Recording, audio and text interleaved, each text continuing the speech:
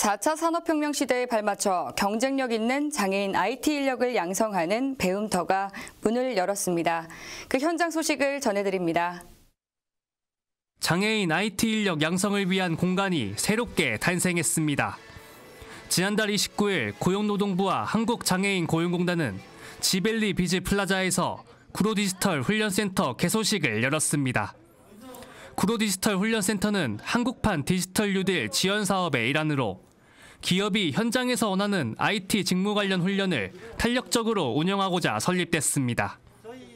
특히 해당 센터는 디지털 관련 기업이 밀집된 서울 디지털 산업단지 내에 위치해 훈련 접근성을 높이고 현장 기술 변화와 인력 수요에 빠르게 대응할 수 있는 것이 특징입니다.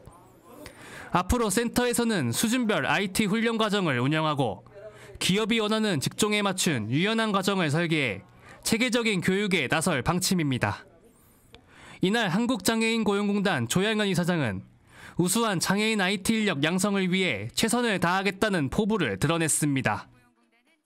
저희 공단은 장애인의 IT 경쟁력을 제고하고 또 기업 개별 기업의 수요를 충족할 수 있는 훈련 과정 운영을 계획하였습니다.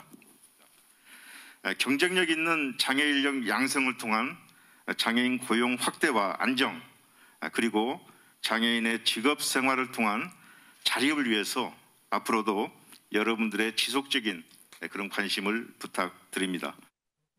한편 한국장애인 고용공단은 센터 개소를 시작으로 4차 산업혁명 시대에 발맞춘 다양한 움직임을 이어갈 예정입니다.